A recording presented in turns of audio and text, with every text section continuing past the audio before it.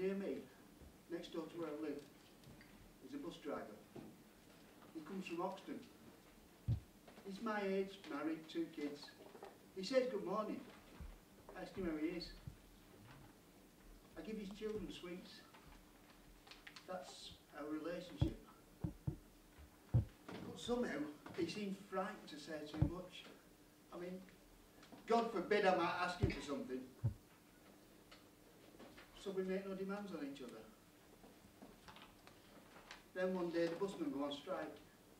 He's out for five weeks. Every morning I say to him, keep going mate, you'll win. I give him words of encouragement.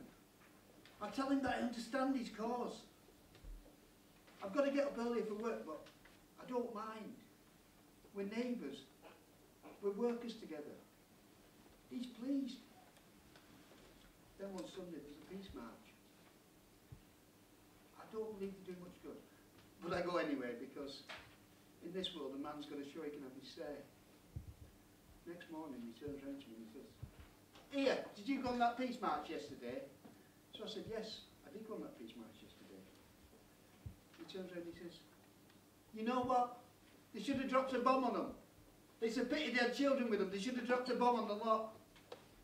And you know what was upsetting him? The march was holding up traffic. The buses couldn't move so fast. Now, I don't want him to agree with what I did. I don't even want him to say I'm right. But he couldn't say that this man helped me with my cause. So maybe, only maybe, there's something in his cause